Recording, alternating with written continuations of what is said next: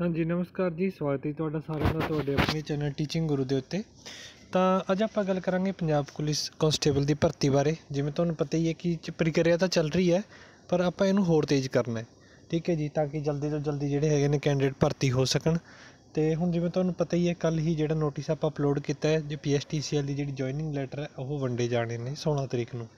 ਤਾਂ ਆਪਾਂ ਨੂੰ ਜਲਦ ਹੀ ਜਿਹੜੀ ਹੈਗੀ ਆ ਪੰਜਾਬ ਪੁਲਿਸ ਦੀ ਭਰਤੀ ਨੂੰ ਵੀ ਅੱਗੇ ਵਧਾਉਣਾ ਚਾਹੀਦਾ ਜਿਹੜੇ ਵੀ ਕੈਂਡੀਡੇਟ ਸਿਲੈਕਟਡ ਨੇ, ਉਹਨਾਂ ਨੂੰ ਜਲਦ ਤੋਂ ਜਲਦੀ ਜੁਆਇਨਿੰਗ ਲੈਟਰ ਤੇ ਅੱਗੇ ਦੀ ਜਿਹੜੀ ਵੀ ਪ੍ਰੋਸੈਸ ਹੈ, ਉਹ ਕੰਪਲੀਟ ਹੋਣੀ ਚਾਹੀਦੀ ਹੈ।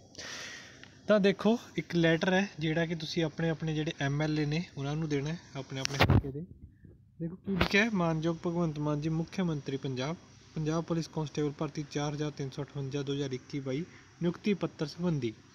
ਸ਼੍ਰੀਮਾਨ ਜੀ, ਪੰਜਾਬ ਪੁਲਿਸ ਭਰਤੀ ਇਸ਼ਤਿਹਾਰ ਨੰਬਰ ਇੰਨਾ, ਮਿਤੀ 16 ਜੁਲਾਈ 2021 ਬੇਨਤੀ ਹੈ ਕਿ ਅਸੀਂ ਪੰਜਾਬ ਪੁਲਿਸ ਕਾਂਸਟੇਬਲ ਭਰਤੀ 2021-22 ਦੇ ਸਿਲੈਕਟਡ ਉਮੀਦਵਾਰ ਹਾਂ। ਅਸੀਂ ਪੰਜਾਬ ਪੁਲਿਸ ਭਰਤੀ ਦੀ ਲਿਖਤੀ ਪ੍ਰੀਖਿਆ, ਜੋ ਮਿਤੀ 25-26 ਸਤੰਬਰ 2021 ਨੂੰ ਲਈ ਗਈ ਸੀ ਅਤੇ ਦਸੰਬਰ ਮਹੀਨੇ ਵਿੱਚ ਸਰੀਰਕ ਟੈਸਟ ਲਿਆ ਗਿਆ ਸੀਗਾ, ਜੋ ਉਮੀਦਵਾਰਾਂ ਨੇ ਇਹਨਾਂ ਪ੍ਰੀਖਿਆਵਾਂ ਨੂੰ ਪਾਸ ਕੀਤਾ ਜਿਸ ਦਾ ਨਤੀਜਾ 8 ਜਨਵਰੀ 2022 ਨੂੰ ਆ ਗਿਆ ਸੀ। ਉਸ ਤੋਂ ਬਾਅਦ ਪਿਛਲੀ ਸਰਕਾਰ ਨੇ ਨਿਯੁਕਤੀ ਪ੍ਰਤੀ ਕੋਈ ਠੋਸ ਕਦਮ ਨਹੀਂ ਚੁੱਕਿਆ। ਅੱਜ ਤੱਕ ਇਸ ਭਰਤੀ ਵਿੱਚ ਪਾਸ ਹੋਏ ਉਮੀਦਵਾਰਾਂ ਨੂੰ ਨਿਯੁਕਤੀ ਪੱਤਰ ਨਹੀਂ ਦਿੱਤੇ ਗਏ। ਅਸੀਂ ਸਮੂਹ ਪੰਜਾਬ ਪੁਲਿਸ ਸਿਲੈਕਟ ਉਮੀਦਵਾਰ ਆਪ ਜੀ ਨੂੰ ਪੁਰਜ਼ੋਰ ਅਪੀਲ ਕਰਦੇ ਹਾਂ ਕਿ ਸਾਨੂੰ ਜਲਦੀ ਤੋਂ ਜਲਦੀ ਨਿਯੁਕਤੀ ਪੱਤਰ ਦੇ ਦਿੱਤੇ ਜਾਣ ਤਾਂ ਜੋ ਅਸੀਂ ਵੀ ਪੰਜਾਬ ਪੁਲਿਸ ਵਿੱਚ ਆਪਣੀਆਂ ਸੇਵਾਵਾਂ ਦੇ ਸਕੀਏ। ਆਪ ਜੀ ਨੂੰ ਪੁਰਜ਼ੋਰ ਅਪੀਲ ਹੈ ਕਿ ਚੁਣੇ ਹੋਏ ਉਮੀਦਵਾਰਾਂ ਨੂੰ ਨਿਯੁਕਤੀ ਪੱਤਰ ਸੌਂਪੇ ਜਾਣ। ਆਪ ਜੀ ਦਾ ਧੰਨਵਾਦ। ਸਮੂਹ ਪੰਜਾਬ ਪੁਲਿਸ ਚੋਣ ਹੋਏ ਉਮੀਦਵਾਰ। ਤਾਂ ਜਿਹੜੇ ਵੀ ਉਮੀਦਵਾਰ ਸਿਲੈਕਟਡ ਨੇ ਪੰਜਾਬ ਪੁਲਿਸ ਦੇ ਵਿੱਚ, ਉਹ ਇਕੱਠੇ ਹੋ ਕੇ ਆਪਣੇ ਆਪਣੇ ਜਿਹੜੇ ਹੈਗੇ ਨੇ ਐਮਐਲਏ ਨੂੰ, ਇਹ ਜਿਹੜਾ ਹੈਗਾ ਮੰਗ ਪੱਤਰ, ਇਹ ਉਹਨਾਂ ਨੂੰ ਜ਼ਰੂਰ ਦੇਣ। ਤਾਂ ਕਿ ਜਿਹੜੀ ਹੈਗੀ ਹੈ, ਦੇਖੋ ਪ੍ਰੋਸੈਸ ਹੋ ਰਹੀ ਹੈ, ਕੋਈ ਇਹਦੇ ਵਿੱਚ ਕੋਈ ਉਹ ਨਹੀਂ ਹੈ, ਸ਼ੱਕ ਨਹੀਂ ਹੈ ਕਿ ਆਪਾਂ ਪ੍ਰੋਸੈਸ ਨਹੀਂ ਹੋ ਰਹੀ।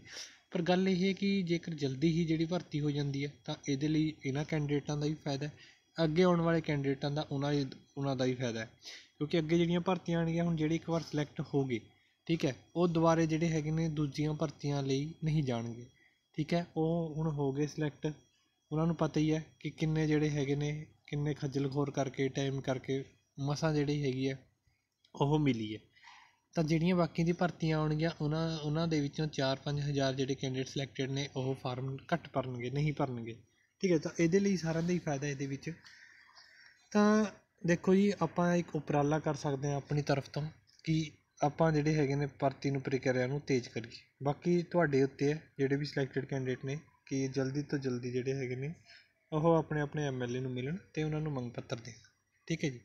ਤਾਂ ਦੇਖਦੇ ਹਾਂ ਕਿ ਕੀ ਹੁੰਦਾ ਮਿਲਦੇ ਹਾਂ ਜੀ ਨੈਕਸਟ ਵੀਡੀਓ ਵਿੱਚ। ਧੰਨਵਾਦ ਜੀ ਤੁਹਾਡਾ ਸਾਰਿਆਂ ਸਾਡਾ ਵੀਡੀਓ ਦੇਖਣ ਲਈ। Thank you